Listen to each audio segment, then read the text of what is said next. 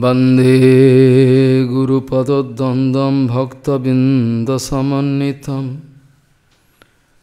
श्रीचैतन्यप्रभुं वन्दे नितानन्दसहोदितं श्रीनन्दनन्दनं वन्दे राधिका चरणोदयं गोपीजनसमयुक्तं बिन्दावनं मनोहर वाञ्छाकल्पतरुवस्य कृपासिन्धुव्यवच पतितानं पावनेभ्य वैष्णवेभ्यो नमो नमः। मूकं करोति वाचालं पङ्गुं लङ्घयतगिरिं यत्कृपातमहं वंदे परमानन्दमाधवं बृन्दावै तुलसीदेव वै पिया वै केशवस्य कृष्णभक्तिपदे देवी सत्त्ववत्त्वयि नमो नमः नारायण नमस्कृत्य नरं चैव नरोत्तमं देवीं सरस्वतीं व्यासं ततो जयो मुदीरे सङ्कीर्तने कृष्णकथोपदेशे गौरीयपत्रस्य प्रकाशने च सदानुरक्तगुरुभक्तियुक्तो भक्तिप्रमदाख्यजगोद्वरुण्य धैर्यं सदा परिभवग्नमविष्टदोहं। तीर्थास्पदं शिवविरिञ्चनु तं शरण्यं। भीत्तात्यहं पनुतपाल्यभवाद्दिपूतं। वंदे महापुरुषते चरुणारविन्दम्।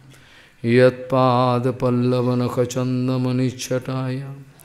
विस्फुरिजित किमपि गपवतु स्वदर्शि पूर्णानुरागरससागरसारमूर्तिः।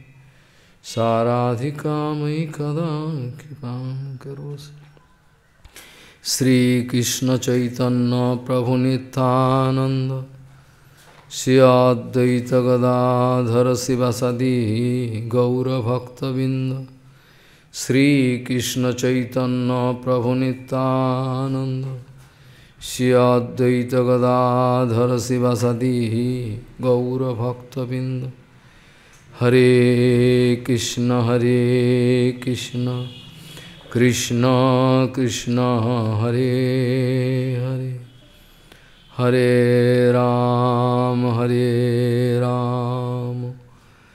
রাম রাম হরে আজানুলম্বিত ভুজৌ কনকাবদাত সংকীর্তনৈকিতর কমলায়তাক্ষ বিশ্বাম্বরো দ্বিজবরো যুগধর্মপালো বন্দে জগৎপ্রিয়করো করুণাবতারো हरे कृष्ण हरे कृष्ण। कृष्ण कृष्ण, हरे हरे। हरे राम हरे राम। राम राम, हरे हरे। नमामि गङ्गे तव पादपङ्कजम् सुरासुरैर्वन्दितो दिव्यरूपं भुक्तिं च मुक्तिं च ददासि नित्यं भावानुरूपेण सदा नरानं गङ्गातरङ्गरमणीयजटाकलापं गौरी नारायणो प्रियमनङ्गमदापहारं वरानसिपुरपति भजवीशनाथं वागीषजस्य वदने लक्ष्मीर्यस्य च वक्षसि। यस्यास्ति हृदयसंविः त्वं निसिंहमहं भजे। हरे कृष्ण हरे कृष्ण कृष्ण कृष्ण हरे हरे हरे राम हरे राम राम राम हरे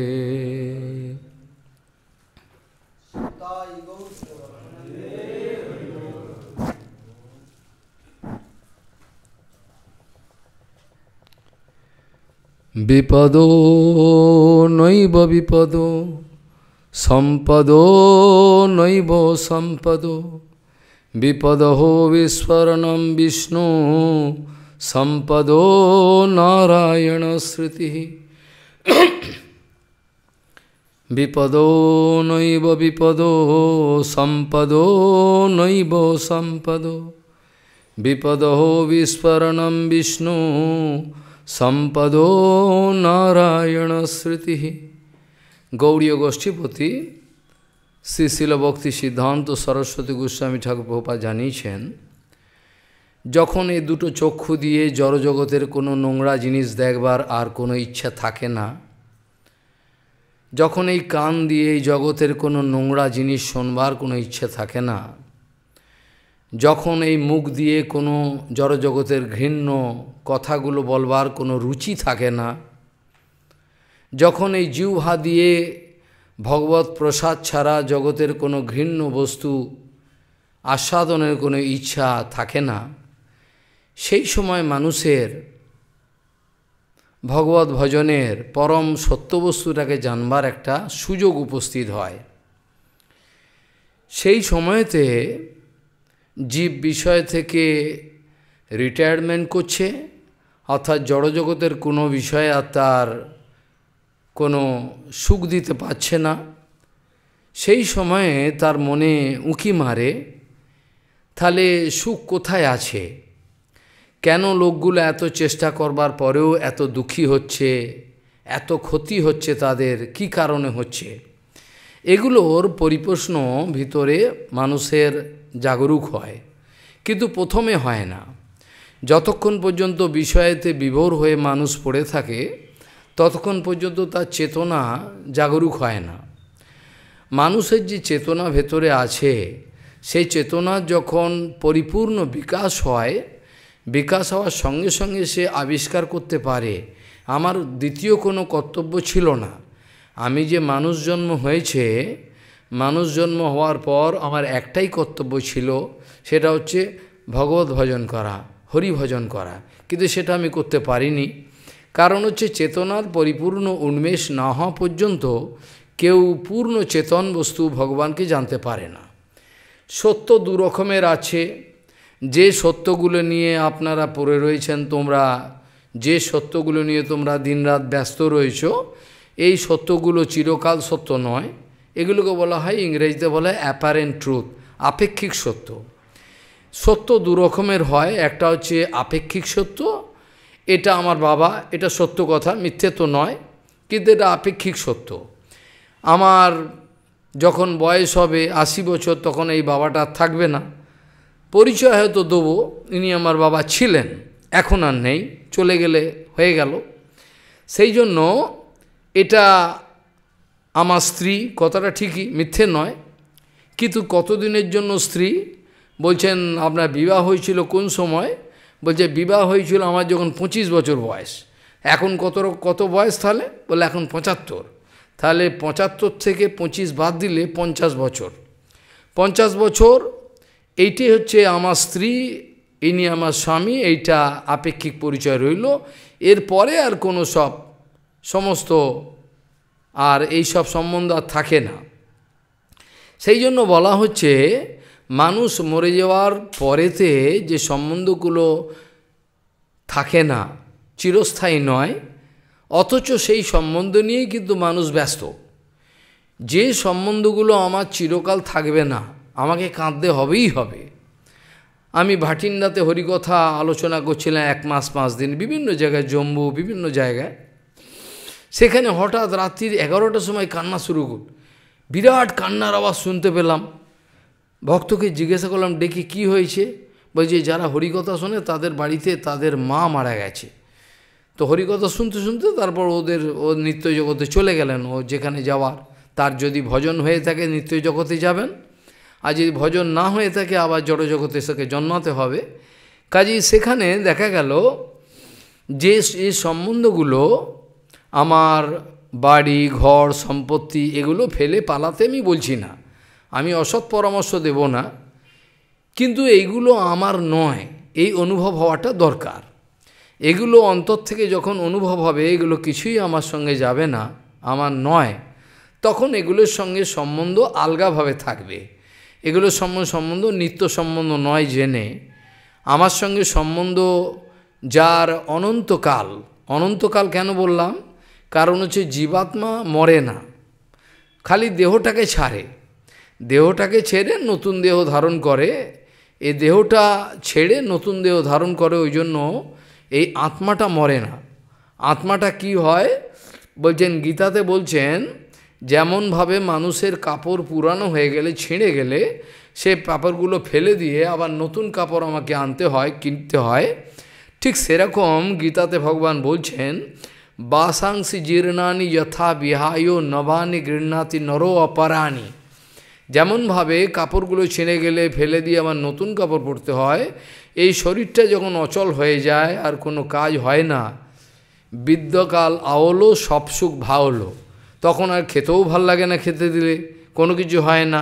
এই অবস্থায় শরীর ছাড়বার জন্য প্রস্তুতি চলছে। তথাপি হৃদয়েতে শরীরটা ছাড়বার জন্য কোনো ইচ্ছা নাই। আমি শরীরটা ছাড়তে হবেই হবে, কিন্তু আমি শরীরটা ছাড়বো, এরকম ধরনের কোনো ইচ্ছা তাদের মধ্যে থাকে না। এখানে বলছেন, যে বস্তুটার সঙ্গে আমি অনন্তকালের সম্বন্ধ আমি অস্বীকার করলেও আমি ছাড়তে পারব না। সেটা কার সঙ্গে? যে সম্বন্ধটাকে আমি চেঁচামেচি করলেও ছাড়তে পারব না। আমি যদি চেঁচামেচি করি, অনেক কিছু আন্দোলন করি, তথাপি তার সঙ্গে সম্বন্ধ আমি ছাড়তে পারব না। সেটা কে? সেটা হচ্ছে পরমাত্মা।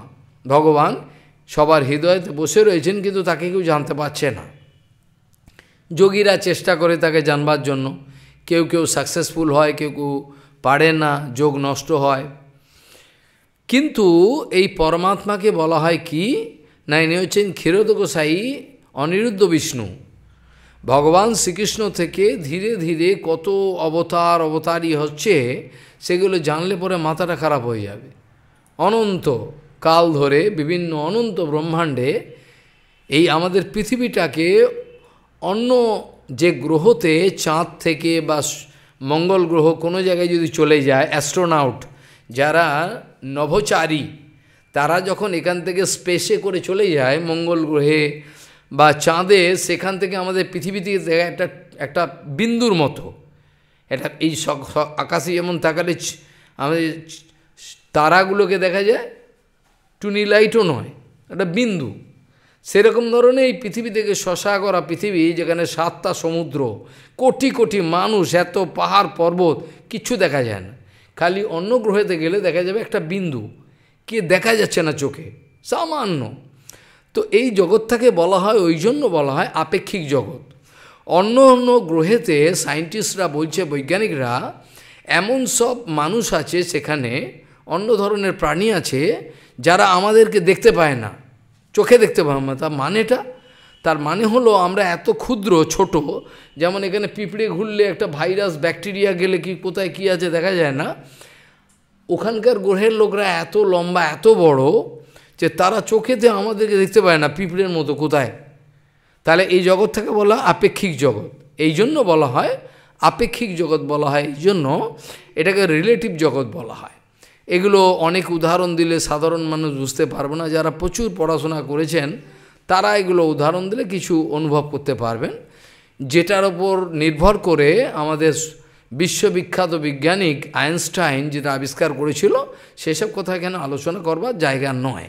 সেটা বলে থিওরি অফ রিলেটিভিটি সেটা আবিষ্কার করেছিলেন এটা কি করে হয়? সেটা বড় আশ্চর্যের বিষয়। যে কোনো একটা পদার্থ আছে, এই যে পদার্থটা, এর থেকে যদি আমি একটা অংশ ওয়ান মিলিগ্রাম এই তামা, এটা যদি কেটে আমি ফেলে দিই, এই ওয়ান মিলিগ্রাম তামাটাকে আমি এনার্জিতে কনভার্ট করতে পারব। এত এনার্জি হবে যেটা থেকে এইটুকু এর থেকে এত এনার্জি যেটা থেকে আমাদের অ্যাটমিক এনার্জি বার করা হয়, বিদ্যুৎ, অ্যাটমিক বিদ্যুৎ কেন্দ্র সেখানে ফিস ফিশন এবং যারা হায়ার ফিজিক্স পড়েছেন তারা বুঝতে পারবেন। সামান্য এতটুকু ইউরেনিয়াম পয়েন্ট জিরো জিরো এটাকে যখন চেম্বারে দিয়ে ওটাকে যখন এনার্জিতে কনভার্ট করবে, পাগল হয়ে যাবে, এত এনার্জি। বলে হ্যাঁ। এই জন্য আমাদের যে যখন দুর্গাপুজো করে লোকে, বোকাগুলো বোকা লোকগুলো দুর্গাপুজো করে। আর দুর্গাপুজো করলে আমার কোনো আপত্তি নেই। কিন্তু বুঝে দুর্গাপুজো করলে ভালো হয়। সেটা কি? সেটা যখন সকালবেলা মহালয় হয়, ওরা শোনে। শোনে, নাচাকুঁদা করে। কিন্তু মানেটা বোঝে না। সংস্কৃত তো দূরের কথা, একটু সামান্য বুঝিয়ে দিলেও বুঝবে না। সেটা কি? সেটা বলছেন আমাদের এটা চণ্ডীপাঠে আছে, যা দেবী সর্বভূতেষু শক্তি রূপেণ সংস্থিতা। এই কথাটা মানে কেউ বুঝলো না। অনেক পড়াশোনা করেছে। বিরাট পড়াশোনা দিগ্গজ। মানেটা কিছু বুঝলো না, খালি শুনল। যা দেবী মানে যেই দেবী শক্তিরূপে সমস্ত জগতে বিরাজ করছেন, যাকে কেউ দেখতে পাচ্ছে না। এটা হচ্ছে গোপন রহস্য। কিন্তু আমাদের ভারতবর্ষে এটা চণ্ডীপাঠেতে এটা আছে। কিন্তু এই কথাটা বুঝে গেল একটা জার্মানের সায়েন্টিস্ট, যে নোবেল প্রাইজ পেল। বোঝা গেল? তার কপালটা এমন ভালো, দেবী বুঝিয়ে দিল। ও ওখান থেকে আবিষ্কার করল যে পদার্থ থেকে এবার এনার্জি কনভার্ট করা যায়। এগুলো আমি বিস্তৃত আলোচনা করব না। আমার বলবার বক্তব্য হলো, সমস্ত জগৎটা রিলেটিভ ওয়ার্ল্ড আপেক্ষিক জগৎ। এখানে সব কিছু আপেক্ষিক, এটা এটা আমার বাবা, এটাও ঠিক, এটা আপেক্ষিক সম্বন্ধ। কিন্তু যেটা আমার নিত্য সম্বন্ধ ভগবানের সঙ্গে, যেটা আমি চেষ্টা করলেও কাটতে পারব না, তার নাম হলো পরমাত্মা ভগবান। সেটা হচ্ছে ভগবান শ্রীকৃষ্ণ সুপ্রিম লর্ড সেখান থেকে সব অবতারগুলো সব আসছে, বিভিন্ন রকম অবতার, অবতারী এবং ভক্তগণকে যে পাঠান তেন তার কাছ থেকে আসছেন। আমি যে শ্লোক দিয়ে শুরু করেছি, সেটা বড় গুরুত্বপূর্ণ জিনিস। সেখানে বোঝবার বিষয় আছে যে আমারা, আমরা অনেক অনেক বিপদের সম্মুখীন হই। কেন এই জগৎটাই হচ্ছে বিপদের এই জগৎটাই হচ্ছে বিপদে। সংসারে বিবাহ করল, সংসার পত্তন করল, খুব সুন্দর করে হঠাৎ দেখে গেল স্ত্রীটা মারা গেল, কাঁদতে আরম্ভ করল। হঠাৎ দেখে বাচ্চা বাচ্চা একটা হয়েছে, বাচ্চাটা কিছুদিন পরে দেখা গেল মারা গেল। কাজে এই যে জগৎটা, এটাকে উপনিষদে বলছেন যে এই বোকা লোকগুলো বুঝতে পারছে না, একটা খুরের মতো ধার। বোঝা গেল, খুর খুর, জানো খুর? খুরের যেমন ধারা, উপনিষদ বলছে এই বোকা লোকগুলো খুরের ওপর দিয়ে হেঁটে হেঁটে চলছে। খুরের ওপর দিকে হাঁটা যায়? কিন্তু উপনিষদ বলছেন, খুরস্ব ধারা নিশীত হইয়া দুর্গম পথস্তৎ কবয় বদন্তি। কবয় মানে মনীষীরা সাবধান করে এই তোমার সংসারটা হচ্ছে তুমি যেন মনে করো, খুরের ওপর দিয়ে পা রেখে হাঁটছো প্রতিপদে কাটবেই কাটবে, তুমি আটকাতে পারবে না। এটা বলে সংসার। কেউ আমাকে বৃন্দাবনে জিজ্ঞাসা করেছি, মহারাজ, সংসার কাকে বলে? আমি, সংসার কাকে বলে? তুমি তো বেশি কথা বললে বুঝবেন না, অল্প কথায় বলি। তাহলে তোমার যদি একটু মগজে কিছু ঢোকে, সেটা কি?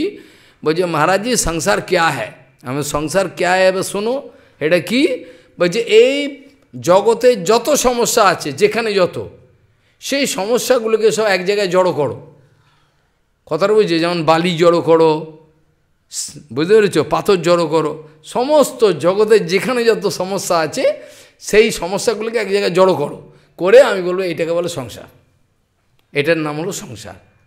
সমস্যা নেই, সংসার। এর কী করে হয়? বোকা লোকগুলো এভাবে সংসার করছে।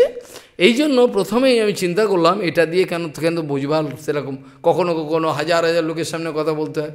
কখনো সূর্যকুণ্ডে একজনের কাছে বলতাম, তার বিকার নেই হরিকথা ভগবানের কথা। এটা হচ্ছে পরিবেশ অনুযায়ী আলোচনাগুলো হয়। কোন পরিবেশে কোন আলোচনা হলে কে বুঝতে পারবে? সেখানে বলা হয়েছিল বিপদ নৈব বিপদ ন এব এব যারা একটুও একটুও সংস্কৃত পড়েন নাই, তারা যদি অন্তত বাংলাও পড়ে থাকেন, তারাও অন্তত জানে এব মানে হচ্ছে অ্যাফার্মেটিভ মানে হচ্ছে দৃঢ়তার সঙ্গে বলা হয়। দৃঢ়তা। হ্যাঁ সেখানে বলছেন, এটাকে বিপদ বলা হয় না, বিপদও নৈব বিপদ, যেটাকে তুমি বিপদ বলছো, তোমার টাকা হারিয়ে গেছে, এত লক্ষ টাকা চোট হয়ে গেছে, সমস্ত কিছুর মূলে আমরা ছোটোবেলা থেকে একটা কথা শিখেছি, লোভে পাপ, পাপে মৃত্যু। কাজেই ভগবত ইচ্ছায় যা আমার সামনে আসে, আজ পর্যন্ত আমি সেইভাবেই জীবনযাপন করছি। ভগবত ইচ্ছায় যা আমার কাছে আসে, না আমার চাওয়া চাইবার দরকার পড়ে না, ভগবানের ইচ্ছায় যা আসে, সেটা দিয়েই যা হচ্ছে, আনন্দে সব হয়ে যাচ্ছে, কোনো আশা আকাঙ্ক্ষা নাই। তাহলে তো বিদেশ চলে যেতাম, বিদেশ ডাকছে, ডাকে সবসময়। ঘটনা হলো, বিপদও নৈব বিপদ, যেটাকে তুমি বিপদ বলে আতঙ্কে রয়েছো, এটা আমার বিরাট বিপদ, কি করব আমি? এটা আসল বিপদ নয়। এই বিপদটায় কখনো কখনো কেউ পড়ে, কখনো কখনো বেরিয়ে যায়। আমার জীবনকালে আমি শুনেছি, ছোট্ট বয়সে যখন পড়াশোনা করি স্কুলে, টালিগঞ্জের একটা নাপিত, টালিগঞ্জে একটা নাপিত, সে নাপিতটা এক কোটি টাকা প্রাইজ পেয়েছে টালিগঞ্জের আজকের কথা বলছি না পঁয়তাল্লিশ, পঞ্চাশ বছর আগে গেল আমি যখন ছোট সাত দশ বছর বয়স হবে। টালিগঞ্জের একটা নাপিত, সেটা চুল কেটে খায়, সে এক কোটি টাকা পেয়েছে। আমাদের যে গোশালা আছে, তার আগের গ্রামটার মধ্যে একটা গোয়ালা, সে পেয়েছে ষাট লক্ষ টাকা না কত, হঠাৎ পেয়ে গেছে। তো এ ধরনের ব্যাগগুলো ফটকা বাজার। যারা পরিশ্রম করে যা আসবে তাতেই সন্তুষ্ট থাকেন এবং কপালে যা থাকবে সব ভগবান দেয়, এটা হবে। এগুলো সব অনেক আলোচনার সময় নেই, যেন অনেক আলোচনা। প্রহ্লাদ মহারাজ কি বলেছেন, এগুলো কি বলেছেন, যেগুলো কপালে থাকবে, চেষ্টা আমার নর্মাল করতে হবে। তারপর যেটা কপালে আছে সেটা অবশ্যই ভগবানের ইচ্ছা হয়। যেখানে বলা হচ্ছে বিপদ নৈব বিপদ সম্পদ নৈব সম্পদ। যদি মানুষের জীবনে কোটি কোটি টাকার সম্পত্তি এসে যায়, টাকা পয়সা, তখন বলে এখানে, এবার আমার একটা সুদিন এসছে, বলল। কিন্তু শাস্ত্র বলছে না, এটা তোমার যেটাকে তুমি বিপদ বলছো, তোমার হারিয়ে গেছে, অনেক কিছু ক্ষতি হয়ে গেছে, এটা তোমার বিপদ নয়। আর তোমার যেটাতে তুমি বলছো যে এটা আমার সম্পদ এখনও ভালো দিন এসছে। এটা ভালো দিন নয়। যদি ভালো দিন হতো, তাহলে কুন্তি দেবী তাহলে কুন্তিদেবী বোকা ছিলেন না। কুন্তিদেবী কেন কাঁদছেন এবং বলছেন, ভগবান যখন চলে যাচ্ছেন কুন্তিদেবী বলছেন যে, এখন তো আসল বিপদ আমাদের এলো। আসল বিপদ কি করে এলো? এখন তো যুদ্ধে তো তোমরা জিতে গেছো। যুদ্ধে জিতে গেছো সব কিছু সমাধান হয়ে গেছে, কৌরব মারা গেছে, ওরা তো বদমাইশি করেছিল, আর নিজের দোষে মরেছে কে তো মারতে চায়নি। অনেক কিছু ব্যাপার। কিন্তু যাই হোক এখন তো তোমাদের সম্পদ, ভালো তো। এখন তো কোনো বিরোধী পার্টি নেই, কিছু নেই, এবার ভালো করে কুন্তিদেবী বলছে, না, এখনই তো বিপদ শুরু হলো। বিপদ শুরু হলো মানে? বলছে, এখনও তো তুমি সম্পদ দিয়ে কেটে পড়তে চাইছো। কিন্তু আসল বিপদ এখনও শুরু হলো। এখন তুমি আমাদেরকে এইসব দিয়ে ভুলিয়ে টাকা পয়সা ধন দৌলত দিয়ে ভুলিয়ে, রাজত্ব দিয়ে ভুলিয়ে চলে যাওয়ার চেষ্টা করছ। আসল বিপদ এখন শুরু হলো, কেন এখন আমাদের এই সম্পত্তি, এই রাজ্য রাজধানী, এই নিয়ে ব্যস্ত থাকব? তোমার কথা চিন্তা করতে পারব না। তাই জন্য আমাদেরকে বেশি করে বিপদ পাঠাও। কুন্তিদেবী প্রার্থনা করছেন কৃষ্ণের কাছে, এরকম বোকা আছে কি? কুন্তিদেবী বোকা না? কুন্তিদেবী বলছেন, আমাদেরকে যে বেশি করে বিপদ পাঠাও। কুন্তিদেবী বলছেন, কেন? বিপদ আসলেই তোমাকে মনে থাকবে। তোমার কথা যখন আমরা জঙ্গলে ছিলাম আমাদের ইচ্ছে করে পাঠিয়েছিল, আগুনে পোড়াবার চেষ্টা করেছিল, কত কিছু অত্যাচার করেছিল, সেই সময় কিন্তু সর্বদা তোমার তোমার কথা আমরা স্মরণে রাখতে পেরেছিলাম। কিন্তু এখন তুমি আমাদের এই ভুলিয়ে চলে যাবে, সেটা আমাদের পক্ষে বিরাট বিপদ। আজকে যে আলোচনাটা করা বিশেষ দরকার, সকালে বিদেশিদের কাছে ফরেনাররা প্রায় দু ঘণ্টার ওপরে মোটামুটি শুনেছেন। ওদেরই এখন বাজার, আনন্দ ওরাই নিচ্ছে। ও সমস্ত গোপন তত্ত্ব, এটা কিসের তত্ত্ব? সেটা হচ্ছে যে আজকে যে শিবরাত্রি লোকে পালন করছে, এই জগতের লোক তিথি অনুযায়ী বিচারে বৈষ্ণবদা কালকে পালন করবে। যাই হোক, আজকে পালন করছে, আজকে শিবরাত্রি বলেন জগতের লোকেরা। এখন এই শঙ্করজি ভগবান এবং নারদজি ভগবান, এরা দুটো দুজন হলেন এই ব্রহ্মাণ্ডের মধ্যে একটা বড় আচার্য। এই শঙ্কর ভগবান, নারদজি ভগবান নারদজি, ভগবান কেন বলা ভগবত্তা দিয়েছে? ভগবান মানে সুপ্রিম লর্ড নয়, পরমেশ্বর নয়। পরমেশ্বর একজন, সেটা হচ্ছে ভগবান শ্রীকৃষ্ণ। আর এরা সবাই ঈশ্বর। ঈশ্বর কেন বলা হয়? এদের ঈশিতা। ঈশিতা মানে পাওয়ার, এদের ক্ষমতা দেয়া রয়েছে। এই জন্য ভগ মানে হচ্ছে পাওয়ার। ভগবান, বান মানে যুক্ত। আমার ক্ষমতা যুক্ত, এই জন্য শঙ্কর ভগবান বলা হয়। ইন্দ্র ভগবান বলা হয়, এগুলো বলা যেতে পারে, এগুলো কোনো দোষ নেই। সেখানে বল, বলা হচ্ছে যে এই শঙ্কর ভগবান এবং নারদজি মহারাজ, এরা হচ্ছে এই ব্রহ্মাণ্ডের মধ্যে একটা বড় আচার্য, বিরাট, সবচেয়ে বড় ভক্তির আচার্য। এদের ফাংশন কি? এদের কাজ কি? যখনই ওরা দেখে কোনো জীবের সংসার সংসারের বাসনাটা চলে যাচ্ছে, মোটামুটি বা পূর্বকল্পে, পূর্বজন্মে ওর সংস্কারটা ভালো ছিল, এই জন্মে মায়াতে পড়ে এরকম ধরনের হচ্ছে, কোনো না কোনো রকমভাবে এরা এদেরকে সাহায্য করেন। সাহায্য করে এরা যেন ভক্তি পান, ভক্তি লাভ করে নিত্য জগতে যেতে পারেন। এই জগৎটা তো অস্থায়ী, এখানে থাকার জগৎ নয়। সেরকম একটা ব্যবস্থা করেন। শঙ্কর ভগবান বিভিন্ন রূপে বিভিন্ন হাজার হাজার প্রমাণ আছেন। জগতে যে কোনো স্তোত্র পাঠ করবে, যে কোনো যা করবে, করতে যাবে। দেখবে সঙ্গে সঙ্গে লেখা আছে শিব উবাচ শঙ্কর উবাচ নারদ উবাচ এরকমভাবে বলা আছে। আজকে সেই শঙ্কর ভগবান, সবার প্রিয় শঙ্কর আশুতোষ, তার হচ্ছে আজকে তিথি, আজকে পড়েছে। এই শিবরাত্রি তিথিটাকে জড়জগতের লোক যেভাবে পালন করে, বৈষ্ণবরা সেভাবে পালন করে না। বৈষ্ণবরা কীভাবে পালন করেন? তারা পালন করেন, তারা জানেন ইনি হচ্ছেন ভগবানের থেকে এসছেন, ভগবানের ভক্ত, আর এর কৃপাতে বিরাট লাভ হতে পারে। মানে লাভ মানে পারমার্থিক লাভ। আবার ধন দৌলতের লাভও হবে, আমি সেগুলো সব আলোচনা করব।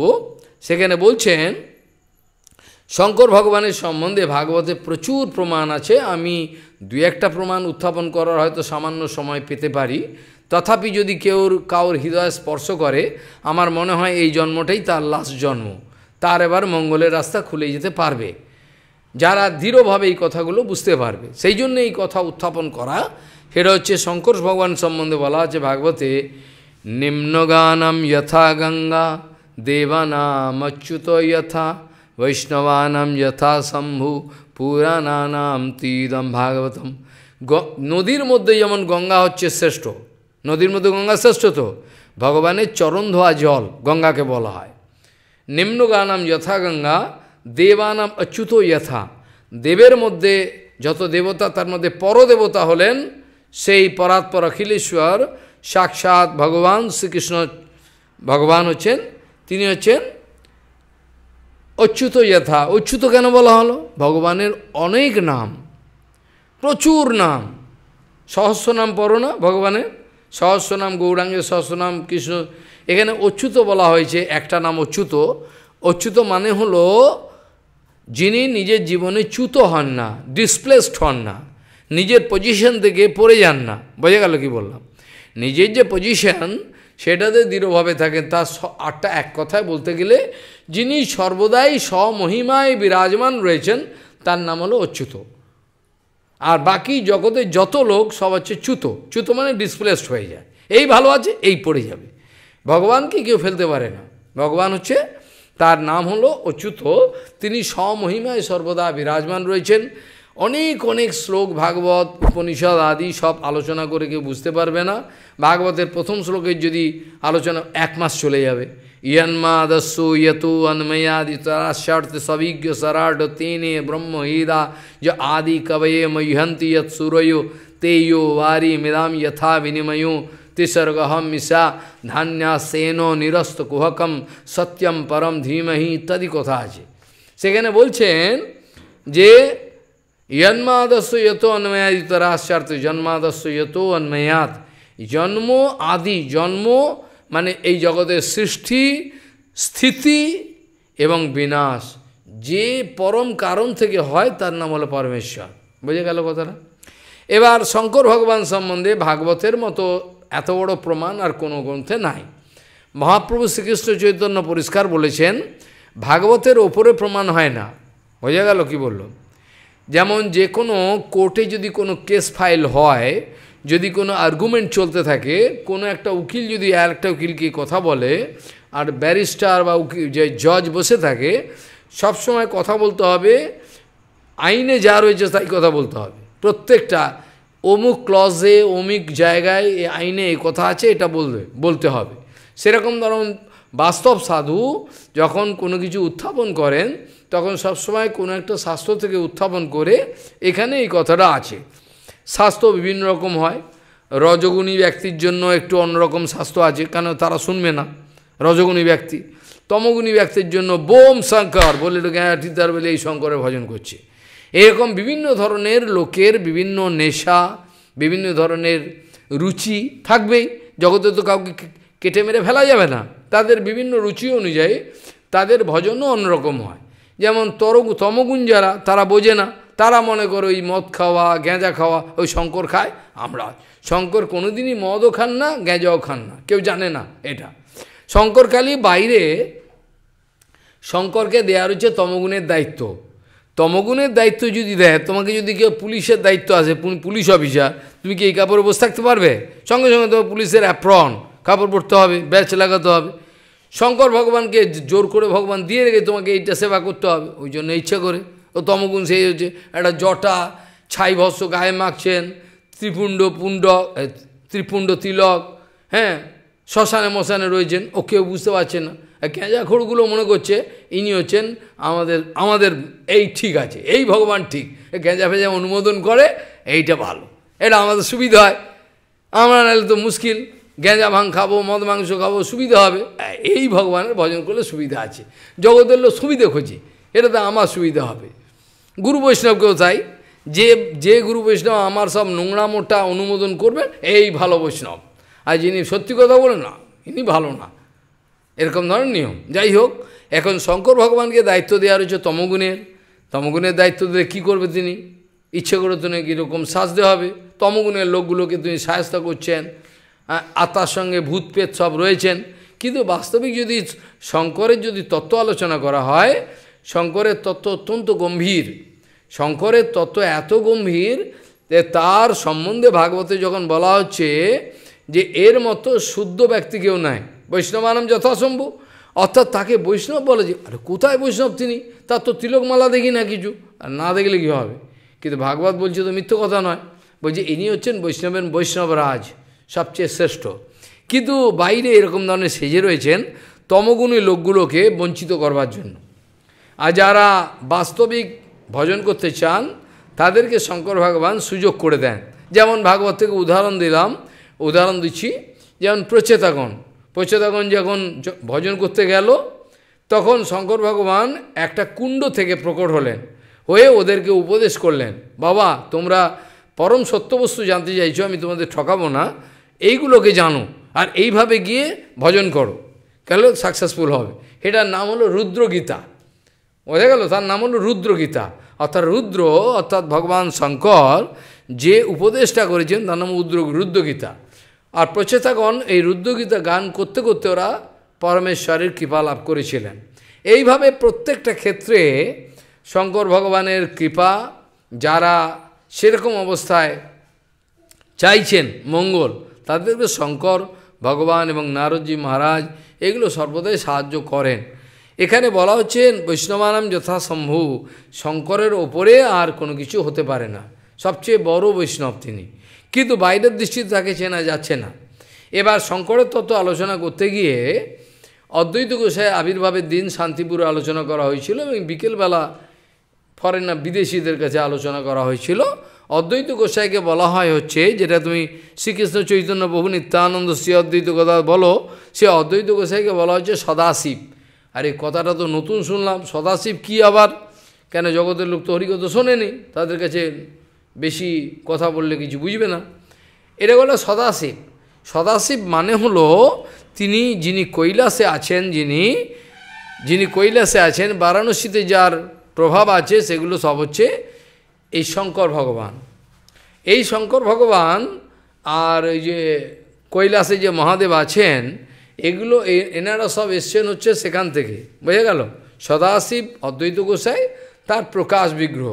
মূল কারণটা হচ্ছে সেই অদ্বৈত গোসাই, যাকে বলা হচ্ছে বিষ্ণুর সঙ্গে অভেদ। কথাটা বললাম? বিষ্ণুর সঙ্গে অভিন্ন। যেই বিষ্ণু আর অদ্বৈত গোসাই পার্থক্য নয়, ওনাকে সদাশিব বলা হয়। সদাশিব মানে যত শিব আছে, তার মূল কারণ, এই সদাশিব। তার মধ্যে কোনো তমগুণ নাই। বুঝে গেল? তিনি তমগুণের দায়িত্ব নেন। এইখানে যখন শঙ্কর যখন আসছেন, ওই শুদ্ধ শত ভূমিকা থেকে এখানে ইচ্ছে করে এই দায়িত্বগুলো পালন করবার জন্য তিনি এই রজ, তমগুণের দায়িত্বটা নিচ্ছেন।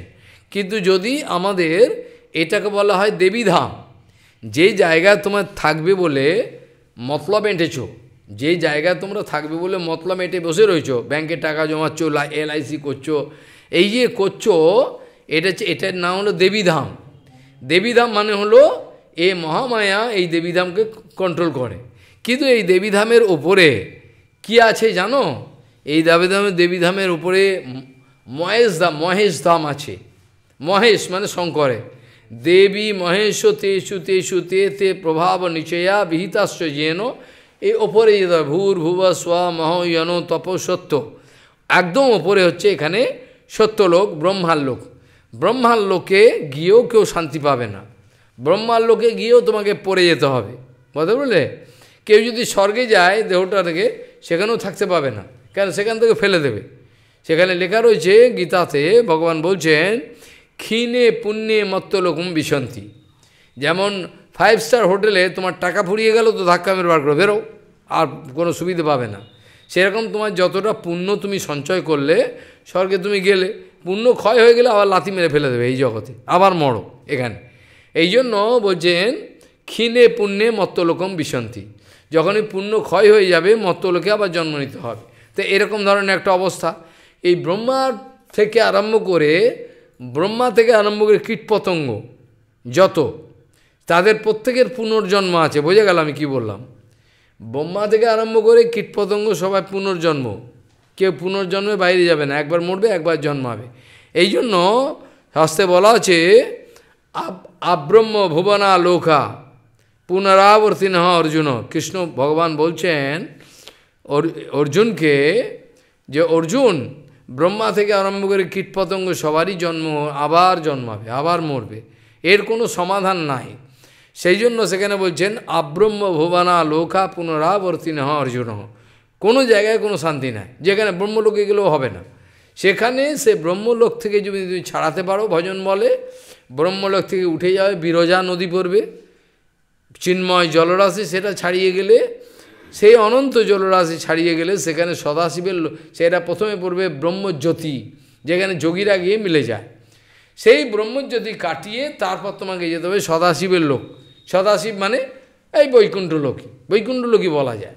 সেই সদাশিব লোক সেখান থেকে আবার আরেকটু উপরে উঠলে সদাশিব লোকেরই আরেকটা প্রকোষ্ঠ আছে, যেখানে বৈকুণ্ঠ লোকেরই একটা পার্ট এইটা, এই সদাশিব লোক। বৈকুণ্ঠের এবার বিভিন্ন প্রকোষ্ঠে দেখতে পাবে সব কিছু তাহলে দেখা গেল, শঙ্কর ভগবান সম্বন্ধে বলা হচ্ছে যে ইনি হচ্ছেন বৈষ্ণব শ্রেষ্ঠ এবার কি করে তার এখানে জগতে কি কি সেবা করেন, এই সম্বন্ধে দু একটা কথা আমি আলোচনা করব, বেশি আলোচনার সময়ও নাই। সেখানে বলছেন যে শঙ্কর ভগবান যারা বঞ্চক, যারা চিটার, তাদেরকে শঙ্কর ভগবান ইচ্ছে করে ওদেরকে ঠকান।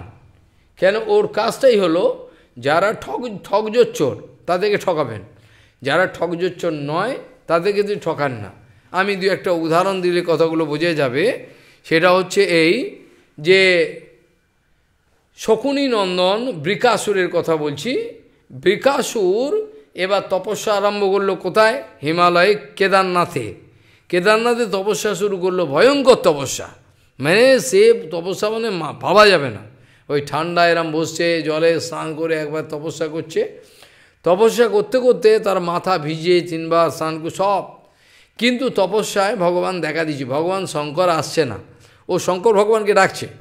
কিন্তু শঙ্কর ভগবান আসছে না। শঙ্কর ভগবান যখন আসছেন না তখন সে বলল, ঠিক আছে তুমি যদি ভগবান না আসে, তাহলে আমার শরীর থেকে মাংস কেটে আগুনে দিচ্ছে। আগুনে যজ্ঞ জ্বলছে, তপস্যা করছে, এ নিজের গা থেকে মাংস কাটছে, এবার আগুনে সোহা বলে দিচ্ছে। এভাবে যখন একটার পর একটা মাংস শরীরে কাটতে থাকছে, তখন আর শঙ্কর থাকতে পারলেন না। করুণা মতো বৈষ্ণব ঠাকুর। তাই সঙ্গে সঙ্গে এখানে আবির্ভাব বলেন বললেন এই ব্যাপার কী? শকুরেন্দ্র তুমি এরকম শরীর কেটে দিচ্ছ কেন? আমি তো এসে গেছি। আর ঠিক আছে, কি চাইবে চাও? তখন কি করলেন? প্রথমেই তিনি তার দৃষ্টিতে তো তিনি যখন কৃপা করলেন, আবার শরীর পূর্বের মতো হয়ে গেল। কাটা ছিল না, কাটে, কেটে কেটে মাংস দিচ্ছেন। এবার শকীরনন্দকে জিজ্ঞাসা করছি তুমি কি চাও? বলছে, আমি একটা বর চাই। বর চাও? কি বর চাও? বলে আমি যার যার মাথায় হাত দেবো, সে যেন মরে যায়। বলে এমন কেমন বর? আমি তো জন্মে শুনি নাই। এটা নতুন ধরনের কথা, এরকম বর তো কেউ চায়নি। কেউ চায় পৃথিবীর অধিপতি, কেউ চায় চোদ্দ ভবনের অধিপত্য, সেগুলো আলাদা কথা, কিন্তু এই আবার কী চাওয়া? বলে, আমি এইটি চাই। বলে, ভালো করে চিন্তা ভাবনা করে দেখো, কি চাইছো? বলে হ্যাঁ এটা চাই আমি। আর ঠিক আছে তুমি, আসলে ভাগবতে বলা আছে, ও গৌরী গৌরী মানে শঙ্করের যে স্ত্রী, শক্তি, মহামায়া। মহামায়াকে অ্যাবডাকশান করবে, ও তুলে নিয়ে চলে যাবে। ও বলছে ও যে একটা পাগল, শঙ্কর একটা পাগল, জঙ্গলে ফঙ্গলে থাকে, ওর কাছে এই এরকম স্ত্রীর থাকার তো দরকার নেই, এরম সুন্দরী স্ত্রী আমার কাছে থাকলে ভালো হবে। বলছে, এই জন্য ভাগবতে লেখা রয়েছে লেখা রয়েছে ভাগবতে, গৌরী হরণ লাল সাহা। ভাগবতে লেখা রয়েছে, আমি বলছি না ভাগবতের লেখা রয়েছে, গৌরী হরণ লাল সাহা, গৌরীকে হরণ করবে এই লালসা নিয়ে সে আবার তপস্যা শুরু করেছে। এই হারামজাদা তপস্যা করছে। করতে করতে আবার কী হলো? যখন ভগবান এসছে, বলে আমাকে এই বর দিতে হবে। ঠিক আছে, তাই নে। বর যখন দিয়ে দিল, বর দেওয়ার পরেতে এই কী করে? ওই হাতটা নিয়ে শঙ্করের মাথায় দেবে। শঙ্করকে মেরে ফেলবে। শঙ্কর এবার দৌড়াচ্ছে। বলে, এ কী আপদ হলো? বর দিয়ে তো বিপদ হলো। আমাকেই মারতে চায়। শঙ্কর দৌড়াচ্ছে এবার পাগলের মতো। হে ভগবান, আমায় বাঁচাও আমায় বাঁচাও। কি, কোথায় যাব? এই পাগল দেখো, আমাকেই মারতে চাইছে। এ দুষ্ট। আর কিছু পালাবার পথ নেই। ও দৌড়াচ্ছে ও দৌড়াচ্ছে। ভগবানকে যখন স্মরণ নিয়েছেন, ভগবান শ্রীকৃষ্ণ কী করেছেন? ইচ্ছে করে বটুক ব্রাহ্মণ ছোট্ট ব্রাহ্মণের রূপ দিয়েছে ব্রাহ্মণ বাচ্চা। বাচ্চা ব্রাহ্মণের রূপ ধরেছেন, বা বটুক বামন। এসে বলছেন, এ শকুনানন্দ, দৌড়াচ্ছ কেন? আমার কথা বলার টাইম নেই। আরে শোনো, এত সুন্দর তোমার শরীর, এত সুন্দর গায়ের রং, ছুটছো কেন? পাগল। বলে, ওই দৌড়াচ্ছে। ও কেন দৌড়াচ্ছে? বলে, আমাকে বর দিয়েছে, দৌড়াচ্ছে। তুমি একটা বোকা মূর্খ, জানো না? ও শ্মশানে বসানে থাকে, গাঁজা ভাজা খায়, জানো না? ও কি সত্যি কথা বলে? তুমি একটা বোকা, ওর বর কি সত্যি হয়? তুমি এত বুদ্ধিমান, তুমি এটা জানো না? তোমার হাত তো তোমার কাছেই রয়েছে।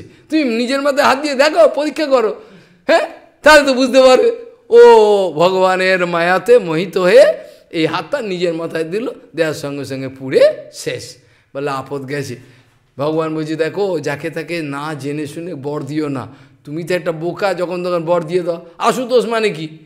আশুতোষ মানে সন্তুষ্ট হয় তাড়াতাড়ি। তাকে এক বিন্দু জল দিল?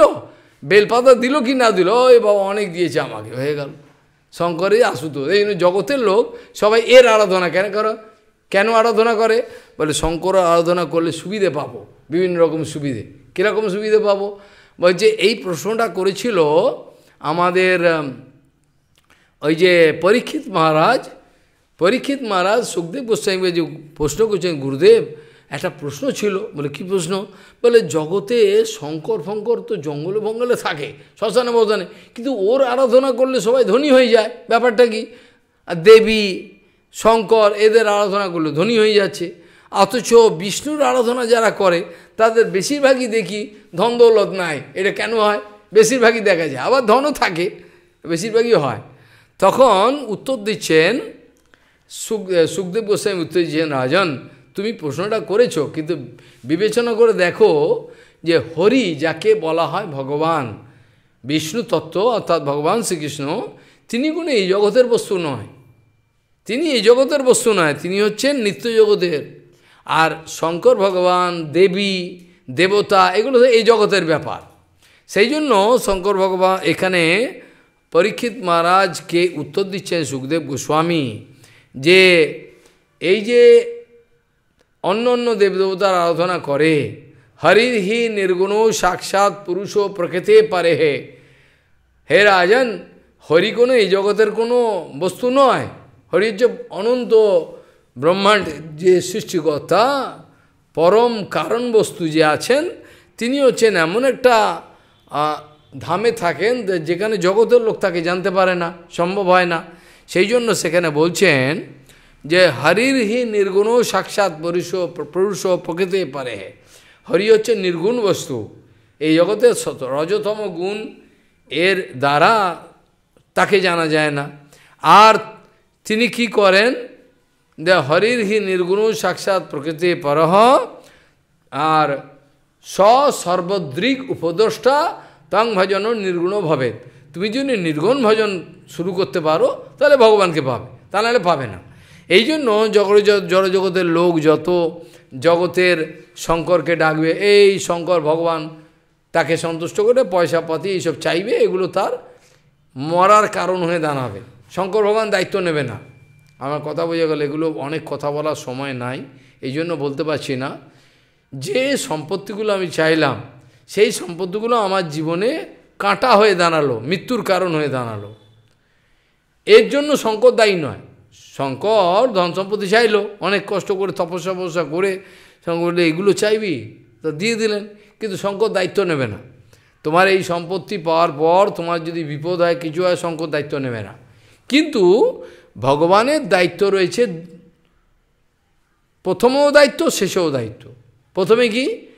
অর্থাৎ গীতাতে বলছে, ভগবান যোগক্ষেম আমি বহন করি। অন্য কোনো দেবদেবতা কিন্তু যোগক্ষেম বহন করে না। বোঝা গেল কি বললাম? অনন্য চিন্তন্ত যে ইয়না মাম পর্যুপাসতে তেষাম নিত্যাভিযুক্তানাম যোগক্ষেম বাহাম্যহম। এখানে ভগবান প্রতিজ্ঞা করেছেন যে যারা আমার অনন্য চিন্তা করে, অন্য কোনো চিন্তা করে না, তাদের যা ধনদৌলত আছে সেগুলোকে রক্ষা করার দায়িত্ব আমার, আর যেগুলো আবার পাবে জীবনে, সেগুলোকেও আমি বাঁচাবো। বোঝা গেল কি বললাম? যোগ এবং ক্ষেম, যেটা তোমার আছে বর্তমানে, সেটা তো থাকবেই, সেটা রক্ষণাবেক্ষণ, আর যেটা নেই, সেটা প্রাপ্তি হবে, সেটাও ভগবান দেবেন। এরকম ধ্রুব মহারাজ, প্রহ্লাদ মহারাজ, সবার কথা। প্রহ্লাদ মহারাজ এই জন্য দৈত্য দৈত্য বালক গুণগুলোকে বলছেন যে, সুখম ইন্দ্রিয়ক্ষম দৈত্যাহা দেহ যোগেন দেহিনাম, সর্বত্র লভ্যতে ইয়স্মাৎ যথা দুঃখম অযত্নতা। প্রহ্লাদ মহারাজ, বাকি অসুর বালকগণকে বলছেন, দেখো, বাবা মানে বন্ধু, যে এই যে সুখম ইন্দ্রিয়ক্ষম দৈত্যাহা, যেগুলো ইন্দ্রিয় ঘটিত সুখ, ইন্দ্রিয় বোঝো, এই যে আমরা যত সুখ ভোগ করি, সেগুলো ইন্দ্রিয়র দ্বারে। জীবে খাচ্ছ, ভালো মন্দ, এটা জিহ্বার দ্বারা জিহ্বাটা সেন্স অর্গান কানটা, কানের দ্বারা গান শুনছ, বিভিন্ন রকম, এটা তোমার জড় জগতের মুখের দ্বারা বলছো বলছো কোনো কথা, সব জড় জগতে যত ইন্দ্রিয়, চামড়ার দ্বারা উপভোগ করছ কিছু, যত কিছু আছে, এগুলো সব দশটা ইন্দ্রিয় আছে। পঞ্চ কর্মেন্দ্রিয় পঞ্চ জ্ঞানেন্দ্রিয় আর মনকে বলা হচ্ছে এগারো নম্বর ইন্দ্রিয়। পঞ্চকর্মেন্দ্রিয় পঞ্চ জ্ঞানেন্দ্রিয় হলো, এবার মনটাকে বলা হচ্ছে এগারো নম্বর ইন্দ্রিয়, এর সবচেয়ে বেশি ডেঞ্জারাস এই যেগুলো এই জগতে ভোগ করে লোকে সেই ভোগগুলো কি? এই জড়জগতের ভোগ এবং এটা থাকবে না। এই ভোগগুলো এখানে বলা হচ্ছে, তুমি যে আজকে দুঃখী, তোমার আজকে পনেরো বছর আগে তুমি দুঃখী ছিলে বা তিরিশ বছর আগে দুঃখী ছিলে, আবার সুখী হয়ে গেলে, আবার কিছুদিন পরে আবার দুঃখী হয়ে গেলে, আবার হয়তো পরে সুখী হয়ে যাবে। অর্থাৎ এটাকে বলা হয়, এটাকে আগম পাহিনা গীতাতে ভগবান হচ্ছে এই সুখ দুঃখ এগুলো থাকে না। এগুলো আসে আর যায়। এগুলো নিয়ে মাথা ঘামায়, বুদ্ধিমান লোক মাথা ঘামায় না। এই জন্য বলছেন, এগুলোকে আগম পাই না মানে যাতায়াত করে। এগুলো থাকে না, চিরস্থায়ী নয়। কখনো সুখ, কখনো দুঃখ কখনো দুঃখ, কখনো সুখ, এভাবে আসে আর যায়। আগম পাই না বলা হয়েছে, ভগবান বলেছেন। এই জন্য এই জন্য ভগবান গীতাতে পরিষ্কার বলছেন, যারা বাস্তবিক বুদ্ধিমান, তারা কখনোই এই সামান্য ইন্দ্রিয় ঘটিত যে লাভলস কান, এগুলো নিয়ে পড়ে থাকে না। গীতাতে ভগবান পরিষ্কার অনেক কথা বলেছেন, এগুলো আলোচনা করার তো সময় নাই। সেখানে বলছেন যে হি সংস্পর্শজা ভোগাহা দুঃখজন এওতে আদ্যান্তবন্ত কন্তয় ন তেষু রমতে বুধাহা বলছেন, যে, যেহি সংস্পর্শজা ভোগাহা যেগুলো এই বাড়িটাকে দেখতে পাচ্ছ, চোখের দ্বারা হাত দিয়ে ভালো ঘর আমার হলো, এগুলো সব ইন্দ্রিয়র দ্বারা অনুভব করছ, এই বাড়ি বাড়ি, ঘর টাকা, পয়সা সব কিছু খাওয়া দাওয়া সব কিছু হলো। ভগবান শ্রীকৃষ্ণ উপদেশ দিচ্ছেন, সামান্য গীতাতে এইসব উপদেশ। খালি গীতা পাঠ হলেই পাগল হয়ে যাবে লোকে। অন্য কঠিন কথা আমি কি বলব? কিন্তু লোকের তো ধৈর্য নাই। সেখানে বলছেন যে, যেহি সংস্পর্শা বোগাহা যেগুলো যত ইন্দ্রিয় ঘটিত যে সুখ স্বাচ্ছন্দ্য আছে, এগুলো সব অর্জুন, এগুলো সব অস্থায়ী, এগুলো যায় আর আসে, এগুলো থাকে না। ওই জন্য বুদ্ধিমান ব্যক্তি এগুলো নিয়ে মাথা কামায় না। যেহি সংস্পর্শা ভোগাহা দুঃখজন এওতে আদ্যন্তবন্ত ন তেষু রমতে বুধাহা যেটা আপ অ্যান্ড ডাউন এই সুখ, এই দুঃখ। এক্ষুনি স্কুল ফাইনালে স্টার পেয়ে পাস করেছে মিষ্টির ছড়াছড়ি ঘরেতে। এবার আনন্দে আটকানা হরিকথা শুনেছ না? আনন্দে আটকানা স্টার পেয়ে পাস করেছে স্কুল ফাইনালে, ভালো। এবার ছেলে বলছে, আমাকে একটু স্কুটারটা দাও, আমি একটুখানি বন্ধুর বাড়ি যাব। বাবা বলছে, না, তুই চালাতে জানিস না দেবো না। মা বলছে, তোমার বেশি বেশি, দাও না, কি আছে? এই তো যাবে, আসবে। দিল। মায়ের দরদ জোর করে স্কুটারটা দিতে চায়নি, দিল, আর এদিকে মিষ্টি ছড়াছড়ি। এবার যেই হাইওয়েতে গেল, আনন্দের চোটে একটা লরি মেরে দিয়ে চলে গেল, ব্যাস ওখানে স্পট ডেট একটু আগে আনন্দে মিষ্টি ছড়াছড়ি হচ্ছিল, একটু পরে কান্নায় ভেঙে পড়ল। বোঝা গেল কি বললাম? অর্থাৎ এইভাবেই জীবন। কখনো টাকা আসছে, কখনো টাকা চলে যাচ্ছে। এই জন্য যারা স্থির বুদ্ধি সম্পন্ন, তারা ব্যবসা বাণিজ্য করুক, চাকরি করুক, যা করে, পড়াশোনা করুক, মাস্টারের কাজ করুক বা যা কিছু করুক, স্থির বুদ্ধি সম্পন্ন। যাদের ভক্তি আছে, তারা বুঝে শুনে কাজ করে। স্থির। ভক্তি এসে যাওয়ার পর মানুষের বুদ্ধি স্থির হয়। যাই হোক, এইভাবে ক্রিয়াকর্ম করলে কোনো কর্মেতে ভুল হবে না। তা নাহলে এমন ভুল হয়ে যাবে, জীবনে জীবনটা তো খুব অল্প খুব অল্প সময়ের জন্য আমাদের জীবন। সেই জন্য ভক্তি রাজ্যে আমি বারবার বলি, যদি কেউ ভুল করে, সে ভুলটাকে মেকআপ দেওয়া খুব কঠিন হয়ে যায়। এই জন্য এই কথা বলা হচ্ছে। যাই হোক, আর অধিক আমি আলোচনা করব না, কেন কাউর শোনবার মতো সেরকম পরিস্থিতি নাই। এইখানে আমি শেষ করব কিছু বলে। এখানে বলা হচ্ছে, শঙ্কর ভগবান এইভাবে বঞ্চনা করেন, অনেক ক্ষেত্রে অনেক বঞ্চনা করেন। একটা লীলা আমি বলে আমি শেষ করব। সেটা কাউর একটু আনন্দ লাগতে পারবে। তারপর তারা বুঝবে শঙ্কর তত্ত্ব কী। যখন এই বিশ এই বিশ্ব সৃষ্টি হয়েছিল, সৃষ্টি হওয়ার পর সৃষ্টিতে দেবতাগণ আদি সব যখন জগতে সৃষ্টি হলেন, হওয়ার পরেতে তখন এবার তারা সৃষ্টি যখন প্রগ্রেস সৃষ্টি এগোচ্ছে, সেই সময়তে দেবতা এবং অসুররা সাগর মন্থনের কথা উপদেশ পেল ভগবানের থেকে। ভগবান বলছে সাগর মন্থন করো, করলে সব পাবে, যা যা দরকার। এখন সাগর মন্থন করতে গিয়ে এখন তো মহাবিপদ, সাগর মন্থন করতে পারছে না, কি দিয়ে মন্থন করবে? এরম একটা সাগর, দেবতারা ব্যাটেলিয়ান, দেবতাদের সব দল চলে এসছে, অসুররাও এসছে। বলে এখনও আমাদের কোনো ঝগড়া নাই এখনও একটা কমন প্ল্যাটফর্মে দাঁড়িয়ে আছি, যেমন আতাত হয় না, বিভিন্ন রাজনৈতিক দল। এখন আমরা হাত মেলালাম, এখন আমাদের আতাত করা এরকম ধরনের অবস্থা। ভগবানের পরামর্শে দেবতাদের সঙ্গে এখন আর কোনো ঝগড়াঝাঁটি নাই। এখন আমরা অমৃত বার করব, করে এবার মন্থন করবি। আর মন্থন কি দিয়ে করবি? আমরা যে মন্থন করি, আমাদের তো আমাদের দধি মন্থনের সব যন্ত্র আছে, ও কি করবে? বলো, তাই তো ওটা কী দিয়ে করবে? ভগবান যে, চলো মন্দরাচল পর্বত আনো মন্দরাচল পর্বত আনো কি চারটিখানি কথা নাকি? পুরো পর্বত থেকে উঠে আনতে হবে, তা তা নাহলে কী করে হবে? এত সাগর বাপ রে বাপ। এখন মন্দরাচল পর্বতকে উঠিয়ে কে নিয়ে আনবে? দেবতাদের অত শক্তি নাই। দেবতা এবং ওষুধ দুজনে মিলে কোথ পারছে ওহ ওহ, করে তারা নিয়ে আসে, দেবতাদের এবার শক্তি হারিয়ে যাচ্ছে। ঘেমে, একাকার, মধ্যিখানে পর্বত ফেলে দিল। ফেলে দেওয়ার পরে এবার অনেক চাপা পড়ে মরে গেল। চাপা পড়ে অনেক চটকে গেল তলায়। এবার কান্নাকাটি শুরু হয়ে গেলে, আমরা কী করব? মরে গেল সব। আমরা কি করে নিয়ে যাব? ভগবান যে এইটুকু পাহাড়টাকে নিয়ে যেতে পারছ না। দাঁড়াও, ভগবান কি করলেন? মা হাতে আঙুলে তুলে নিয়ে গেলো কোথায় রাখতে হয় বলো? চলো, এখানে রেখে দিলাম ভগবানের আমাদের ভগবানের কথা ছেড়ে দাও, মাধ্যাচার্য, মাধ্য, মাধ্যাচার্যের কথা বলছি, যিনি মুখ্য বায়ুর অবতার। কথা বললেন বিরাট একটা পঞ্চাশ, একশো জন লোক মিলে একটা বিরাট একটা পাহাড়ের একটা এটাকে ঠেলে আনবে, পারছে না। মাতার যেমন দাঁড়াও, কী করছ তোমরা? বলে এক হাতে এরম্বা তুললেন পাহাড়ের, ও একটা টিলা, তুলে নিয়ে গিয়ে জায়গা মতো রেখে দিলে। এটা কদিন আগে এগোর কথা? এই তো হ্যাঁ পাঁচশো, ছশো, সাতশো বছর আগে, আটশো বছর আগে। এই সবে।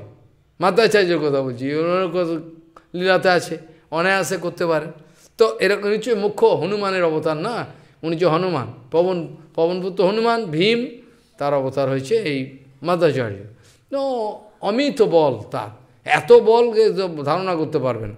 যাই হোক, ভগবান এবার সেই মন্থন দণ্ডিতা এবার দড়ি কোথায় পাবো? দড়িতে এই জগতের দড়ি ফড়ি নিয়ে তো কিছু হবে না। তখন কি করলে? বাসুকি নাককে দড়ি করলেন। বাসুকি নাক দড়ি করে মন্থন শুরু হলো। মন্থন হওয়ার পরে তো প্রথমেই কি হলো? বিষ উঠতে আরম্ভ করল। হলাহল কালকুট বিষ। যার এক বিন্দু যদি গন্ধ চলে আসে, মানুষ মরে যাবে। যে কালকুট বিষের অংশটা তক্ষক আছে, জানো? তক্ষক, একটা সাপ আছে। কুমিরের মতো দেখতে। ও যেখান থেকে উড়ে যাবে, যদি ওর গায়ের বাতাসটা আসে, মরে যাবে লোকে। এত পয়সন একটা তক্ষকের দাম হলো কয়েক কোটি টাকা। ওটা দিয়ে আবার ওষুধ তৈরি হয়। এটা খোঁজে তক্ষক কোথায় আছে। ও ধরে। যাই হোক, এখন এই মন্থনের পর এবার বিষ উঠল, হলাহল বিষ, মহা মুশকিল। এই বিষকে সামলায়, জগতে সব হা হা করে চিৎকার আরম্ভ করে কান্নাকাটি। কেন বিষ তো? এবার গড়িয়ে যাচ্ছে চারিদিকে। বিষ্ণম, বিষ মন্থন করে বিষ উঠেছে। এবার চারিদিকে কান্না, সব জীবগণ কাঁদতে আরম্ভ করছে, কী বিষে তো মারা যাব আমরা সব? এবার তারা ভগবানকে, ভগবান আপনি বললেন, মন্থন করতে, তো মন্থনে এই তো গতি, এখন আমরা কোথায় যাব? বলে, মন্থন তো করছ, তো আমাদেরকে বাঁচান আপনি, এই বিষটা আপনি। বলে, বিষ সমাধান করে দেবে, শঙ্করের কাছে যাও।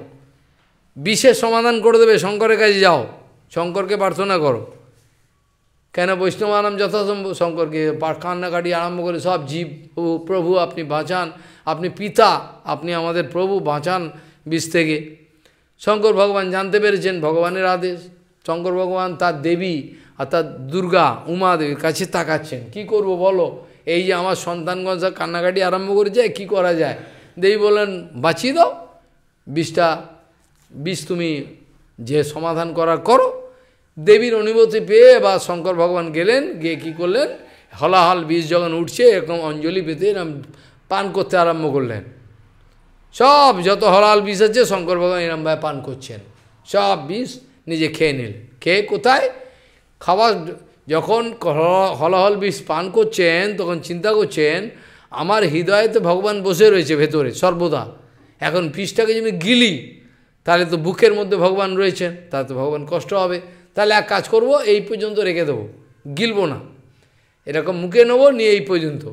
তখন এই পর্যন্ত হলাহল বীজ যত আছে, এখানে রেখে দিলেন। তারপর থেকে নাম হলো নীলকণ্ঠ, বুঝে গেল? কণ্ঠটা স্মৃতিকণ্ঠ, নীলকণ্ঠ নাম হলো এই গলায় নীল, এটা তার একটা একটা একটা সুন্দর একটা ডেকোরেশন একটা গয়নার গয়নার মতো হয়ে গেল। মানে নীলকণ্ঠ নাম হয়ে গেল। আর বাকি যে হাতের ফাঁক দিয়ে, হাতের ফাঁক দিয়ে কয়েক ফোঁটা হাতের যখন পান করছিলেন হাতের হাতের ফাঁক দিয়ে কয়েক ফোঁটা বিষ পড়ে গেছিল মাটিতে। সেই বিষগুলো নিয়ে যত জগতের কোটি কোটি সাপ আছে, বিছে আছে, যত বিষাক্ত, সব ওই বিষটা নিয়ে হয়েছে। বোঝা গেল? খালি পান করবার সময় কয়েক ফোঁটা বিষ মাটিতে পড়ে গেছে। সেই বিষগুলো নিয়ে আমাদেরকে এরা কত ভয়ঙ্কর দেখো। আমাদের এই বিষগুলো নিয়ে এই এত সাপ, ফাপ যত ভয়ঙ্কর দেখছ, এগুলো সব আমাদেরকে অত্যাচার করছে। তাহলে শঙ্কর ভগবানের পাওয়ারটা বুঝতে পারছ? আবার তার স্থান রয়েছে বৃন্দাবনের অন্তঃকরণে গোপেশ্বর রূপে। এইসব কথা এখানে কেউ বুঝবে না, আলোচনা করে লাভ হবে না। তার শুদ্ধ সাত্ত্বিক রূপে স্থান রয়েছে গোপেশ্বর। ভগবান শঙ্কর ভগ, ভগবান পরমেশ্বর শঙ্কর ভগবানকে অনেক সেবা দিয়ে রেখেছেন। যেখানেই তুমি যাও, পুরীতে যাবে, সেখানে দেখবে লিঙ্গেশ্বর ভগবান ভুবনেশ্বরে। মহাদেব এই পুরুষোত্তম ধামটাকে দেখাশোনা করছেন। যদি তুমি বৃন্দাবনে যাও, ভূতেশ্বর মহাদেব দেখাশোনা করছেন। গোপেশ্বর মহাদেব, লীলা লীলাস্থলী, রাধাকুণ্ডে যাও, সেখানে গিয়ে কী দেখবে? সেখানে দেখবে কুণ্ডেশ্বর মহাদেব। তা এই সমস্ত জায়গাগুলোকে দেখাশোনা করার দায়িত্ব হচ্ছে কার? এই শঙ্কর ভগবান। অনেকেই জড়জগতে তারা জানে না, তারা বলছে, আমরা শঙ্কর ভগবানের ভজন করে আমরা মুক্ত হয়ে যাব। কিন্তু বাস্তবিক মুক্ত হতে পারে না। যদিও শাস্ত্রে রেখা রয়েছে যে শঙ্কর ভগবানের ভজন করলে হ্যাঁ যদি বারাণসীতে মরে, তাহলে তার মুক্তি হবে। কিন্তু এটা বাস্তবিক মুক্তি নয়, ক্রমমুক্তি। কথা বললে শাস্ত্রে একটা কথা আছে, কাশী মরণাৎ মুক্তি। কাশিতে মরলে পরে মুক্তি হয়ে যাবে। কিন্তু এই মুক্তিটা সদ্যমুক্তি নয়, ক্রমমুক্তি। তোমাকে সুযোগ দেবে। ভয় অ্যাকচুয়ালি মুক্তি বিষ্ণু ছাড়া কেউ দিতে পারে না। মুক্তি ভগবান ভগবান বিষ্ণু ছাড়া কোনো দেবতার অধিকার নেই মুক্তি দেওয়া। মুক্তিদাতা বিষ্ণুরেব ন সংশয়। বিষ্ণুদাতা একমাত্র বিষ্ণু ছাড়া অন্য কেউ নাই। সেই জন্য কাশী মরণাথ মুক্তি মানে কাশিতে মরলে পরে মুক্তি হবে, কিন্তু কম মুক্তি হবে। আবার অন্য অন্য জায়গায় পুরাণে সব শ্লোক রয়েছে যে বলছেন যে গয়ায়াম চ স্থলে মুক্তি। গয়াতে যদি স্থলে মরো, স্থলে বুঝো? জলে নয়। গয়ায়াম চা স্থলে মুক্তি। গয়াতে যদি স্থলে মরো, দেহ রাখো তাকে মুক্তি হবে। তাহলে গয়াটা বিষ্ণু ক্ষেত্র, মুক্তি হবে। গয়ায়াম চা স্থলে মুক্তি। বারাণস্যাম জলের স্থলে, বারাণসীতে জলের স্থলে যেখানে মরবে, মুক্তি হবে। আর শুকর ক্ষেত্র মানে বরাহ ভগবান যেখানে আবির্ভাব হয়েছেন, সেই ক্ষেত্রে জলের স্থলে চ অন্তরিক্ষে ত্রিধা মুক্তিঞ্চ সু করে। জলের স্থলে অন্তরিকে যেখানেই মারা যাও মুক্তি দেবে শুকর ক্ষেত্রে যাই এরকম অনেক মহিমা এসব অনন্তকাল বললেও ফুরায় না যাই হোক এখানেই আমি শেষ করতে বাধ্য হয়েছি তোমরা পারবে না তোমাদের বিশ্রাম নিতে হবে যাও वाछा कल्पतुर्वश के पास व्यवजपति दानং পাবন বৈষ্ণব্যো নমো যা কাউর মধ্যে যতক্ষণ পর্যন্ত চেতনা না ডাকবে প্রশ্ন না আসবে আমি কে কোথা থেকে এসছি মরবার পর কোথায় যাব? এইসব যতক্ষণ পর্যন্ত চেতনা না আসবে, ততক্ষণ পর্যন্ত কোনো লাভ হবে না। খালি মরবে আর জন্মাবে। এই চেতনাটা আসা দরকার যে আমার মৃত্যুর পর কোথায় যাব? কি হবে আমার গতি? ব্যাংকের টাকাও বাঁচাবে না, এই সম্পত্তিও বাঁচাবে, সব তো ছেড়ে দেবে, লুটুপুটি খাবে লোকে। অনেক ঘটনা এসব বলবার মতো সময় নাই।